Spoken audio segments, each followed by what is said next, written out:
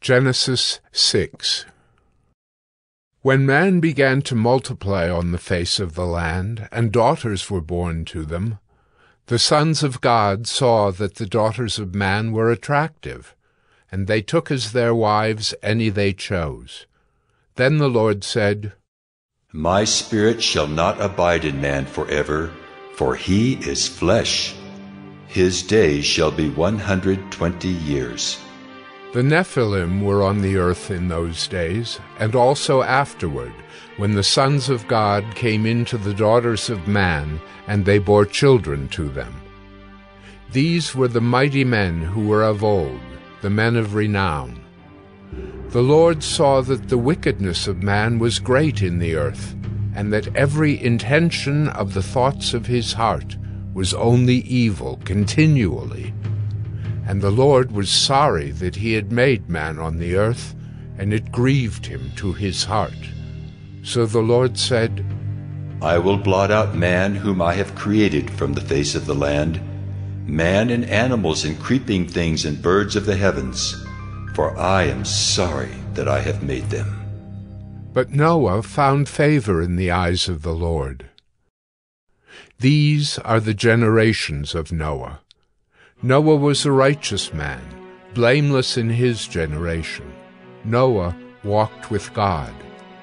And Noah had three sons, Shem, Ham, and Japheth. Now the earth was corrupt in God's sight, and the earth was filled with violence. And God saw the earth, and behold, it was corrupt, for all flesh had corrupted their way on the earth. And God said to Noah, I have determined to make an end of all flesh, for the earth is filled with violence through them. Behold, I will destroy them with the earth. Make yourself an ark of gopher wood. Make rooms in the ark, and cover it inside and out with pitch. This is how you are to make it. The length of the ark, 300 cubits. Its breadth, 50 cubits. And its height, 30 cubits. Make a roof of the ark, and finish it to a cubit above, and set the door of the ark in its side. Make it with lower, second, and third decks. For behold, I will bring a flood of waters upon the earth, to destroy all flesh in which is the breath of life under heaven. Everything that is on the earth shall die. But I will establish my covenant with you, and you shall come into the ark you, your sons, your wife, and your sons' wives with you. And of every living thing of all flesh, you shall bring two of every sort into the ark to keep them alive with you. They shall be male and female, of the birds according to their kinds, and of the animals according to their kinds, of every creeping thing of the ground according to its kind. Two of every sort shall come in to you to keep them alive. Also take with you every sort of food that is eaten, and store it up. It shall serve as food for you and for them. Noah did this. He did all that God commanded him. Genesis 7 Then the Lord said to Noah, Go into the ark, you and all your household for I have seen that you are righteous before me in this generation. Take with you seven pairs of all clean animals, the male and his mate, and a pair of the animals that are not clean, the male and his mate, and seven pairs of the birds of the heavens also, male and female, to keep their offspring alive on the face of all the earth. For in seven days I will send rain on the earth forty days and forty nights and every living thing that I have made I will blot out from the face of the ground. And Noah did all that the Lord had commanded him. Noah was six hundred years old when the flood of waters came upon the earth. And Noah and his sons and his wife and his sons' wives with him went into the ark to escape the waters of the flood of clean animals and of animals that are not clean, and of birds, and of everything that creeps on the ground, two and two, male and female, went into the ark with Noah, as God had commanded Noah. And after seven days the waters of the flood came upon the earth.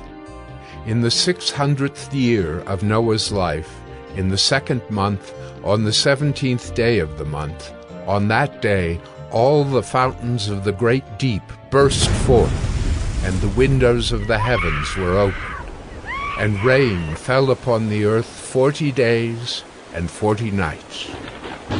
On the very same day, Noah and his sons, Shem and Ham and Japheth, and Noah's wife, and the three wives of his sons with them, entered the ark, they and every beast according to its kind, and all the livestock according to their kinds, and every creeping thing that creeps on the earth according to its kind, and every bird according to its kind, every winged creature. They went into the ark with Noah, two and two of all flesh in which there was the breath of life. And those that entered, male and female of all flesh, went in as God had commanded him. And the Lord shut him in. The flood continued forty days on the earth. The waters increased and bore up the ark, and it rose high above the earth. The waters prevailed and increased greatly on the earth, and the ark floated on the face of the waters. And the waters prevailed so mightily on the earth that all the high mountains under the whole heaven were covered. The waters prevailed above the mountains, covering them fifteen cubits deep. And all flesh died that moved on the earth, birds, livestock, beasts, all swarming creatures that swarm on the earth, and all mankind. Everything on the dry land in whose nostrils was the breath of life died. He blotted out every living thing that was on the face of the ground, man and animals and creeping things and birds of the heavens. They were blotted out from the earth. Only Noah was left, and those who were with him in the ark. And the waters prevailed on the earth one hundred fifty days.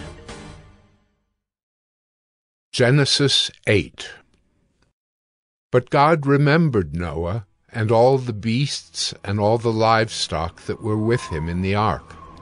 And God made a wind blow over the earth, and the waters subsided. The fountains of the deep and the windows of the heavens were closed, the rain from the heavens was restrained, and the waters receded from the earth continually. At the end of one hundred fifty days the waters had abated, and in the seventh month, on the seventeenth day of the month, the ark came to rest on the mountains of Ararat. And the waters continued to abate until the tenth month. In the tenth month, on the first day of the month, the tops of the mountains were seen. At the end of forty days, Noah opened the window of the ark that he had made, and sent forth a raven. It went to and fro until the waters were dried up from the earth. Then he sent forth a dove from him to see if the waters had subsided from the face of the ground. But the dove found no place to set her foot, and she returned to him to the ark, for the waters were still on the face of the whole earth. So he put out his hand and took her, and brought her into the ark with him. He waited another seven days, and again he sent forth the dove out of the ark. And the dove came back to him in the evening, and behold, in her mouth was a freshly plucked olive leaf. So Noah knew that the waters had subsided from the earth. Then he waited another seven days and sent forth the dove, and she did not return to him any more. In the six hundred and first year, in the first month, the first day of the month, the waters were dried from off the earth. And Noah removed the covering of the ark, and looked, and behold, the face of the ground was dry.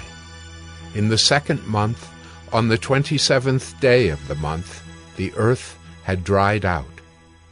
Then God said to Noah, Go out from the ark, you and your wife and your sons and your sons' wives with you.